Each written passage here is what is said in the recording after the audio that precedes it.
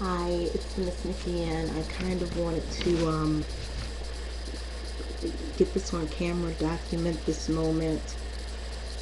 Um, my dysautonomia and my autoimmune and cardiogenic syncope, postural orthostatic tachycardia syndrome, all of it's flaring. I'm not going to even pull out my blood pressure machine.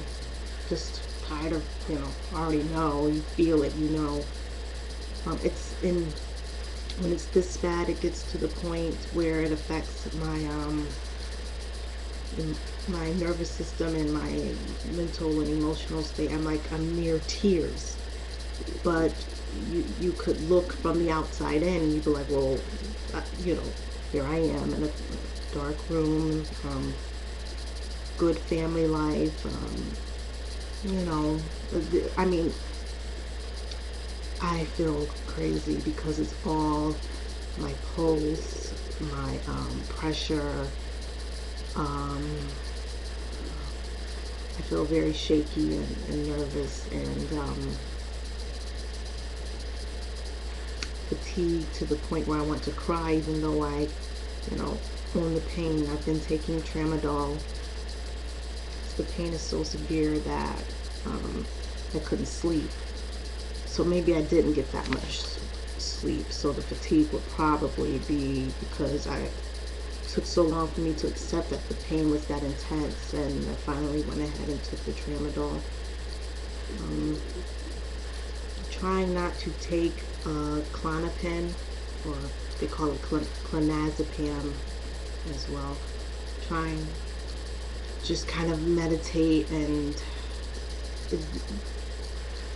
yesterday I was bedridden um, um, after I picked Sir up until this morning.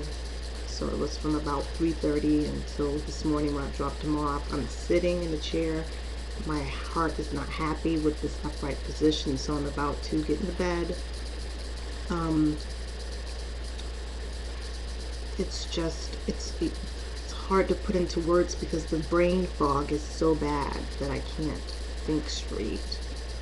And it's frustrating when you know you have so much to do. Um, you know. But the more you fight it, the worse it gets. So if I go ahead and lie down, and I mean literally, I'll probably, I may not even be able to pick up my, my son from school, you know, lie down in, indefinitely. I don't know how long the bad part of the flare will last or how much my body will need to be in that position.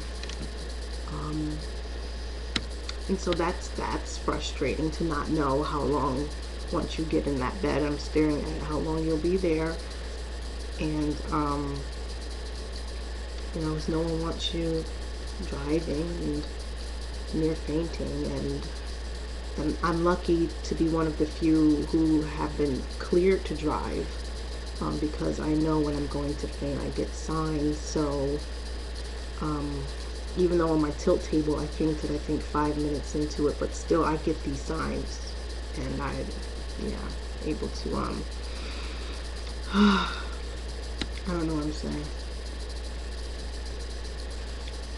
Just cry because I feel like the whole world is moving about and I'm not. I don't generate cash. I don't. I just. I know. I know I'm rambling.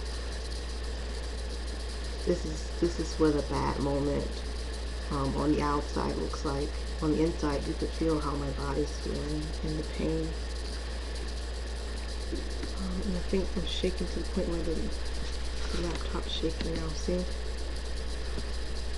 I get tremors and restless leg syndrome and if I don't see this is what happens. People are like well you just keep going. Yeah you keep going and your body's not happy. You see it's just shaking.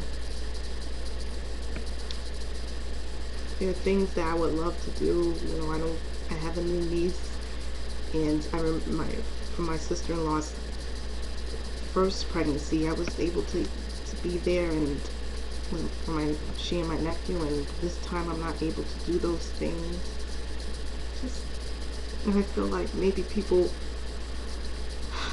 and it's shaking don't realize how real it is and that the moments when I do get out are extra special and that they mean a lot to me, the people I give my time to. Oh my gosh. I'm gonna go lie down and I just can't stop shaking like and it's my lower half that's trembling, not my top. For some reason mine generally it's at the bottom to where the laptop is unstable in my lap. So and so you can barely see and it's getting worse the longer I uh-huh. mom's gone and my dad's at work. So I'm I lie down trying to meditate even while talking to you. It kind of helps control the tremors, but it's taken a lot, two years of practice. Hmm. So I'm gonna just stop, but just wanted to get it on film. I don't know why.